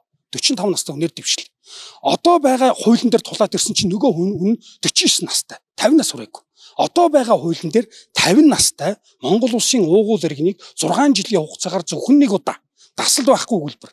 За дасал байхгүй гэдгийг бол байнга хэлээд байгаа шүү. А тэгэхээр ингэ ороод ирдэг. Тэгвэл 49 настай хүн наснаасаа болоод шууд тэрэн дээр чагтаг тавих юм уу? А ингэ бодохоор тэр хүн чинь 2 жилийн нэмэлт нь яг байха байгаад байгаа үстэй. Нэг зүйл залтан дээр байгаа зүйл нь байгаа үстэй. А одоо байгаа бүх тайлбарууд бол хуулийг буцааж хэрэглээд байгаа шүү. Дахин хэлэхэд 2000 19 оны үндсэн хуулиар 2017 онд сонгогдсон хүн дээр очиж шахтаг тавьж мөргөж унгаад байгаа шүү. За ойлголоо. За ерөнхийдөө за хуулийн тайлбарын хоёр талаас нь сонслоо. Одоо яг энэ хамгийн сүүлийн асуултыг та хоёр талд одоо зэрэг тавих байл л та. 4-р сарын 16-нд үндсэн хуулийн цэцгийн дунд суудлын хуралдаан болох гэж байна. Шийдвэр гаргах гэж байна. Одоо ингээд баг суудлын хуралдааныхаа шийдвэр шиг ингээд шийдвэр нь хаанч байгаа нь мэдэгдэхгүй, хүчинтэй эсэх нь мэдэгдэхгүй ийм одоо хүчин төгөлдөр бус ч юм уу гэсэн ийм эргэлзээтэй шийдвэр гаргахгүй тулд үндсэн хуулийн цэцдэр ямар ямар асуудлуудыг те хууль бус одоо асуудлуудыг харгалзаж үзчихэж шийдвэрээ гаргах гэж анхааруулах бай. За тэгэхээр үндсэн хуулийн цэц бол бие даасан байдлаар ажиллах хэвээр. А үндсэн хуулийн цэц процессоо яаж удирдах, яаж хөтлөж байгаа тэрийг бол одоо өдийг хүртэлх процесс нь бол мэдэгдэхгүй байна. Аа тэгвэл мэдээж үндсэн хуулийн цэц бол үндсэн хуулийг чандлан сахиулах баталгаа болсон манай одоо хуулийн дээд байгууллагын хувьд бол одоо итгэхээс аргагүй. Аа тэгээ үндсэн хуулийн цэц бол мэдээж бас хууль зүйн хувьд бол шийдэл гаргасан болоод одоо дунд судлалын хуралдааныг зарласан баг. Аа энэ бол түрүүний Эрдэнэцогт доктор хэлсэн шиг одоо ингээд тодорхой болох бах түүхий явцад. Аа энэ 16-нд болох дунд судлалын хуралдаанд бол хэргийн оролцогчдод биечлэн оролцдог. Аа баг судалт бол болон одоо маргаан үсэх хэсэг талаар цэцгийн гишүүн шийдвэр гаргахтаа бол биечлэн оролцуулах шаардлагагүй байдаг. А одоо бол биечлэн оролцсон. Биечлэн оролцоод яхаар бол процесс яаж явж байгаа тэрэнд бол одоо хэрэг оролцож байгаа жишээ нь мэдээл гаргасан иргэн миний хувьд бол оролцоод ингээд одоо яах боломжтой. Тий, тий. Тийм учраас энэ энэний одоо ингээд процессын дагуу хуулийн дагуу болох тэр хуралдаанаас бол хууль ёсны шийдвэр гаргана. А үндсэн хуулийн цэцгийн шийдвэрийг бол улсын их хурал хүлээж авах хэсгийг хэлэлцсэн а улсын хурал хүлээж авах юм бол хүчин төгөлдөр болно. Авахгүй тохиолдолд их суудлын хуралдаан болно. А үндсэн хуулийн цэцгийн эцсийн шийдвэрийг бол одоо давдаг юм уу дээр нь өөрчилдөг ямар нэг шат байхгүй. Энэ бол үндсэн хуулийн одоо хэмжээний одоо тийм хэм хэмжээ болж хувирдаг. Тийм учраас одоо бүгд нийтээр улс нийтээр дараж мөрдөх ёстой болно. Хууль тогтоогч гэсэн одоо түрүүн би хэлсэн тийм хууль тогтоогчийг үндсэн хуулийн хүрээнд оруулж ирдэг гол институт цаа гэж тийм. Тэгэхээр хууль тогтоогч гэсэн хэрвээ одоо ерөнхийлөгчийн сонгуулийн үйл үндсэн хууль зөрчсөн байна гэдэг үндсэн хуулийн цэцээс эцэслэн шийдвэрлэл мэдээж хууль тогтоогч энэ хууль тогтоомжоо өөрчлөх ийм үүрэгтэй болж хувирна. За та түрүүн бас Иранда дурдсан л да. Одоо жишээ нь тэр э, эхний баг суудлын хуралдааныг хайж явдаг хүн бол үндсэн хуулийн цэцгийн гишүүнээр ажиллах эрх бүхий хүн мөн үгүй юу гэд тэ. Үндсэн хуулийн цэцгийн дарга байсан одоо эр дарга бол одоо ёс бус асуудал гаргасныг үзэгчд бол мэдж байгаа штэ. Солонгосын а солонгос явж байхдаа онгоцны үйлчлэгчид бас ёс бус үйлдэл гаргасан гэд. Энэ мэдчлэн ер нь одоо ингээд дунд суудлын хуралдаан маргаантай эргэлзээтэй бус байхын тулд юу юуг харгалзаж үзэж шийдвэр гаргах хэрэгтэй вэ? Тэгэхээр түрэн би хэлсэн штэ. Процессын шаардлага болоод ёс зүйн мэрэгжлийн ур чадварын шаардлага байна. Эндээ бид анхаарах ёстой гэдгийг нэгдүгээр ойлгочих ёстой. Хоёрдугаар дунд суудлын хуралдаанаас ямар ч шийдвэр гарсан бай улсын хурлд хүргэгдэнэ. Аа улсын хурл энэ дүгнэлтийг хүлээж авах хэсгээ шийдээд хүлээж авахгүй бол одоо их судлалын хуралдаан болох байдлаар ингээ үргэлжлэн явна гэсэн процесс юм. Дунд судлалын хуралдаан байдаг юм, их судлалын хуралдаан байдаг юм. Альж хуралдаанаас ямар шийдвэр гарсан өнөөдөр энэ яригадаад байгаа нэр бүхий ерөнхийлөгчийн чиг үүргийг хэрэгжүүлж байгаа албан тушаалтан нэр дэвших болоо дэвшихгүй гэдэг аль нэг маргааныг аль нэг талд нь шийдэхгүй шүү. Энэ процессоос ямар нэгэн шийдэл гарахгүй. Яагаад гэвэл 31-нд 7-оор үлрүүлэн нэр дэвших боломжтой байсан заалт хүчингүй болсон учраас маш ойлгомжтой. Тэгэхээр одоо хурлын шийдвэр юу гарах ёстой гэж? Хоёрдугаар негатив хяналт гэж байдаг. Өөрөөр хэлбэл одоо мэдээлэл гаргагч талын одоо мэдээлэлдээ дурдаад байгаа. Зохицуулах ёстой зүйлийг орхигдуулсан эс үлдэхүйг нэг одоо шалгуулъя энэ нь үнцөл зөрчсөн байна гэдэг агуулгаараа гаргасан энэ төрлийн маргааныг үндсүүлийн цэцтэй шийддэг. Жишээ нь иргэний хариуцагч гомдол гарах хэрэгтэй хад иргэний нэхэмжлэгч гомдол гарах хэрэггүйгээр үлдээцсэн буюу хийдэл үүсгэсэн гэд энэ үлдээцсэн одоо негатив хяналтаа хэрэгжүүлээд хийдэл байна гэж шийдтсэн. А гэтэл энэ өнөөдрийн ерөнхийдөө сонгуулийн сонгуулийн тухай хууль энэ хийдэл байхгүй. Улсын хурал нэр дэвших эрхгүй гэж бичих шаардлагач байхгүй байсан юм. Ерөөсөө үндсүүл заасан болоод энэ үйл заасан шаардлагын хангасан нэр дэвш дэвшнэгээд бичсэн. А үндсэн үйлд нь а улируулын нэр дэвших ирэхгүй байгаа учраас маш ойлгомжтой. Ингээд сонгуулийн ерөнхөөрөө хуулиа болоод үндсүүлээ хэрэглээд нэр дэвшигчийн бүртгэлийг хүлээж авах нь авахгүй гэдэг байдлаар шийд явна. Ер нь эцсийн нүндээ нэр дэвших эрэхтэй ирэхгүй асуудал бол сонгуулийн ерөнхий хооронд орчиж шийдэгдэг. Материалаа бүрдүүлээд ирвэл үндсэн хууль болоод бусад сонгуулийн тухай хууль заасан шаардлага хангаж ийн үгүй юу гэдгийг шалгаад а ингээд бүртгэн бүртгэхгүй гэдэг асуудал гаргана. Энд өнөөдөр өрнөж байгаа байдлыг харахад бүртгэсэн ч гомдол гарах юм шиг байна. Татгалцсан ч гомдол гарах юм шиг байна тийм үү? Тэгэхээр энэ гомдол хаашаа явдаг вөхөр энэ захиргааны шүүхрээ явдаг байхгүй. Захиргааны шүүх харилцаа маргаа. Тэгэхээр ингээд захиргааны шүүхэр энэ асуудал ингээд өрнөд явах болов. Тэгээ ер нь бид ингээд эцсийн нүндээ захиргааны шүүх, сонгуулийн коро, үндсэн хуулийн цэц, улсын хурлын ерөнхийлөх асуудал биш гэж? Их мэтчлэн байдлаар маргалдж байгаад ингээд тийм төрийн институт хооронд ийм зөрчил рүү яваа орчих юм. А энэ дээр дээч хүртэл оролцсон шүү дээ сая зүгээр явж байгаа. Яасан бэ гэсэн чинь хоёр нэр дэвшигчийг чөлөөлөх байтал нэг нэр оруулаад аль нэгийг сонгох асуудал яригадаад ингээд цогтоо гэдэг гишүүнийг сонгоод ахаа дараагийн маргааныг таашчиж байгаа. Тэр би энэ төрийн дээд институтууд хоорондоо одоо энэ одоо ялангуяа иргэдийн сонгох хэрэгтэй холбоотой асуудлыг шийдэхдээ хуулийг ягштал баримтлаад ёс зүйтэй хандаасаа гэдгийг хэлж уриалмаар байгаа эцсийн үндэ сонгогчтой охирох гэдэг шүү дээ. Аха. За энэ асуултыг яг Эрдэнэ цагт оролцогчдод тавь. Ерөнхийдөө яг ямар ямар анхаарах ёстой зүйлсүүдийг харгалзаж үзэж одоо дунд суудлын хуралдааны шийдвэрийг хүчин төгөлдөр болгох ёстой вэ гэж та шаардах бай. Ер нь хараат бус шийдвэр гаргаж байгаа гэдэгт итгэж байгаа юу та? Ерөөсөө энэ хин болонгортой бол адгын болонгортой гэж үгдэг Тэгэхээр одоо баг суудлын хуралдааны үйл явц бол маш эргэлзээтэй битүү ойлгомжгүй явагдаж байгаа. Тэгээд тэр баг суудлын хуралдаан болсон хэсэг нь одоо тодорхойгүй байгаа мөртлөө дунд суудлын хуралдаан зарлана гэдэг бол энэ цаанаавар маш их одоо хуулийн бодлон байна гэж би би хардж байгаа. Тэгэхээр ийм байдлаар зарлагдсан дунд суудлын хуралдаан бол өөрөө хуулисны дагуу нийлд бол нээлттэй шударгаар энэ маргааныг шийдэж чадахгүй гэдэг нь маш эргэлзээтэй болгосон. Энийг бол би тодорхой үндслийг нь бол хэллээ те. Баг суудлаараа асуудлаа яг шийдсэн мэддэхгүйгээр дунд суудал зарлана гэдэг бол энэ бол байж болохгүй асуудал. Тэгэхээр энэ үйл ажиллагаа бол цэцгийн үйл ажиллагаа бол маш бодлоо ээдрэгтэй болчлоо. Энд бол би эргэлзэж байна. Хараа тусаар шийдэх юм нөхцөл баг алга болсон болов уу гэж бодож байна. Хоёрдугаарт ерөөсөө одоо энэ авч хийж байгаа энэ маргаан бол өнөөдөр үндсэн хуулиараа үндсэн хуулийн 66 дугаар зүйл 64 дугаар зүйл энэ үндсэн хуулийн цэцэд хариалан шийдвэрлэх хэмжээ олгоогүй асуудлыг зориуд маргаан үүсгэж шийдсэн асуудал. Одоо өөрөөр хэлбэл хууль тогтоогчийн тухайн хуулиар одоо шийдвэрлсэн асуудлыг эсвэлтгүйгээр нь дахиж энэ хуулинд хийх ёстой гэдэг ийм агуулгаар өргөдөл мэдээлэл гаргана гэдэг бол энэ Монгол улсын үндсэн хуулийн цэцгийн хэмжээнд огт хамаарахгүй асуудал. Энүүгээр маргаа үүсгэх ёсгүй. Энэ бол хүнд ч ойлгомжтой. Гэтэл энийг одоо маргаа үүсгэснээс болж өнөөдрийн бодлооны их суур тавигдсан. Тэгэхээр ийм маргаа аваад хэрвээ шийдэх юм бол Монгол улсын үндсэн хуулийн цэц бол хууль тогтоогч болж хувирна.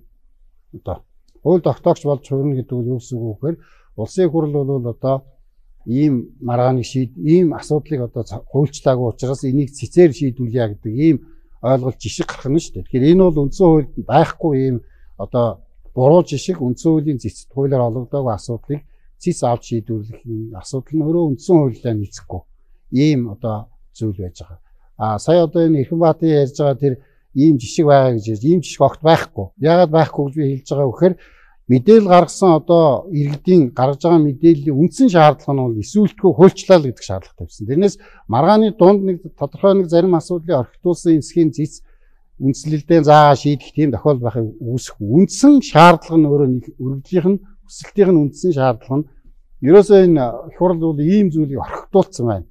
Батуулга гэдэг нь хоёр дахь удаага дэвших гэдэг учраас дэвшиж болохгүй гэдэг ийм заалтыг та нар орхитуулсан байна гэдэг нь цагаан дээр хараад маш тодорхой бичсэн ийм мэдээллийг аваад маргаа үсгэсэн байгаа байхгүй. Тэгэхээр энэ бол өөрөө бол маш одоо үндсэн хуульдаа нийцэхгүй. Энэ бол цэцэг өөрийн дээд ирэмбийн одоо хуульчдаас бүрдсэн дээд ирэмбийн институт гэдэг тэр ойлголт бол одоо энэ хэрэг маргааныг ийм байдлаар шийдэх юм бол тэр ойлголт бол үндсэндээ байхгүй бол цэцэд итгэл одоо нуруу унах ийм аюултай нөхцөлийн өмнө Монгол улс хүлдээ тулж ирчлээ гэж би хэлмээр байна. Тийм учраас энэ ийм аюулыг цааш нь одоо аргуулахгүй байх үүрэг цэцэн гişүүдэд байгаа.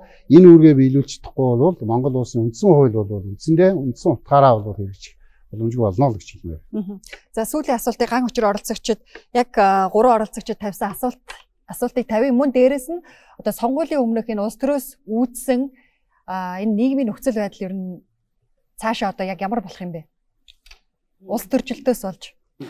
За эхний асуултанд хариулахад гурван янзын одоо ингээд түрүүн би хэлсэн дээд шүүх хууль тайлбарлах боломжгүй гэхдээ хүмүүс өөрсдөө хууль тайлбарлаж байгаа. Онлын хувьд гурван тайлбар хэлье гэж бодож байна. Пентамын тэгшмийн онц гэж байдаг те. Хууль өөрөө нэг талд хит үйлчлэх ёсгүй гэж. За өнөөдөр бол энэ бол Монголд үндсэндээ утгаалцсан. Нэг талд бол тэр чигтээ үйлчлэх тал руугаа явцсан. За өнөөдрийн улс төрийн нөхцөл байдал буюу эрх баригч нам бүх тогтолцоонд хэтэрхий хүчтэй болж байгаа хуулийг тэнцвэргүй байлгаж байгаа. Хууль бол тэнцвэр байх нь шүү дээ эцсийн зорилго нь. За хоёр дахь нь Роми хөлч Юлианы гэж байдаг. Тэр нь кейс онц буюу одоо өнөөдрийн энэ гараад байгаа асуудлуудыг кейсээр хэрхэн тайлбарлах вэ гэдэг. Очрот ерөнхийлөгч 1990 онд ардын хурлаас ерөнхийлөгч болж исэн. Тэр бол ерөнхийлөгчийн бүрэн эрхийн тэр үедээ одоогийн ерөнхийлөгч эрэхтэй игээ адилхан а ард гэдэг бол ард түмэн ард иргэн гэсэн үг. Их хурл гэдэг бол бүрэн төлөөлөл гэсэн үг. 1993 онд дахин ерөнхийлөгчийн сонгуульд бүх нийтийн сонголтоор гарч ирж ирсэн. 1997 онд нэр дэвсэн. Тэр тоог нэмээд үзэх юм бол тэр хүн хэрвээ 97 оны сонгуульд явсан бол 11 жил Монгол улсын ерөнхийлөгч ерөнхийлөгч гэдэг нэртэй эрх мэдэл нь ижилхэн тим кейс манайд байдаг. А мөн дээрэс нь Америк нэгдсэн улсын жишгийн эрх зүйн одоо үндсэн хууль тайлбарладаг одоо гол төлөөлөгч паундын функционал онол буюу одоо чиг үүргийн онол гэж байдаг. Энэ онолтой холбогдуулаад Баяр сайхан багш их тодорхой тайлбар өгсөн байлээ. Би тэрийг уншаад өгье. Баяр сайхан багшийн 2021 оны 3 сарын 16-ны өдөр Монгол их сургуулийн нийт хэрэг зүйн тэнхимийн профессор, тэнхимийн эрхлэгч Баяр сайхан багш хуулийг улс төрийн улс төрийн тайлбарлаа тайлбараар тайлбарлахгүй гэдэг агуулгатай ярилцлаган да. Монгол улсын ерөнхийлөгчийн сонгуулийн тухай хуулийн зарим залт үндсэн хуулийн 32-т зөрчсөн тухай хил мэдээллийн хэрэгслэр одоо зарим иргэд мэдээлэл хийсэн. Судлаачийн хувьд ерөнхийлөгчийн сонгуулийн тухай хуулийн 3 дугаар зүйлийн 3-1-ийн 2, 5 дугаар зүйлийн 5-ын 4, 26 дугаар зүйл үндсэн хуулийн 30 дугаар зүйлийн 2-т зөрчсөн гэж огт үзэхгүй байна. Үндсэн хууль зөрчсөн гэж юу хэлдэг вэ гэхээр тухайн хууль байгаа тодорхой хэм хэмжээ заалтыг шууд алдагдуулсан буюу зөрчсөн илт буруу хэрэглэхийг хэлнэ. Үүнээс ерөнхийлөгчийн сонгуулийн тухай хуулийн 26 дугаар зүйлийн 26-гийн 2-т заасан гурван шалгуур дээр нэмж ерөнхийлөгчөөр сонгогдож байгаагүй гэсэн заалтыг оруулаагүй орхигдуулсан үндсэн хууль зөрчсөн мэтээр хэвлэл мэдээллийнх мэдгцээ. Үндсэн хуулийн агуулгыг дутуу орхигдуулсан тухайн хуульд үндсэн хуулиар тогтоосон зүйлийг дутуу хуульчилсан гэдэг нь үндсэн хууль зөрчсөн гэсэн үг биш ээ. Үндсэн хууль зөрчсөн гэдэгт үндсэн хуулийн агуулгыг бүрэн тусгаагүй буюу а хууль дутуу орхигдуулсан зүйлийг хамааруулж үздэг гэсэн байна. За мөн төгсгөлд нь цаг дуусааг байгаа дээр хэлэхэд хиний сая Эрхэнбаатар хуульч хэлж байгаа юм. Энэ бол негатив хяналтаа гэдэг. Негатив хяналтанд дээр цэцгийн гишүүн байсан үндсэн үе судлаач доктор профессор Ц Наран Туяа багшийн негатив хяналтыг хүлээн зөвш Саран Туяа багшийн негатив хяналтыг хүлээн зөвшөөрсөн улсуудад үндсэн хуулийн их бичвэрт буюу текстэд яг тодорхой заасан үүрэг болгосон заалтын үндсэн дээр хууль тогтоогчид хууль гаргаагүй тохиолдолд хэрэгжих боломжтой. Гэтэл энэ негатив хяналт гэдэг байгаа зүйл нь үндсэн хуулиндаач байхгүй, салбар хуулиндаач байхгүй. Тэгэхээр негатив хяналт гэдэг зүйлийн тухайд огт ярихгүй болох нь. За баярлалаа. Монголчууд бид үндсэн хуулийн цэцгийн дээр хөх тэнгэр байдаг гэж ярьдаг. Энэ нь угтаа одоо хамгийн шудраг шийдвэрийг үндсэн хуулийн цэц гаргах ёстой гэсэн тайлбар.